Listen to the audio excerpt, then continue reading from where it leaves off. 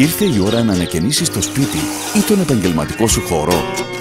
Να επισκευάσεις ζημιές, να αναβαθμίσεις ενεργειακά το ακίνητό σου. Κάνε τη σωστή κίνηση. Με Ρεμέτη. Βρήκε το μαστορά σου.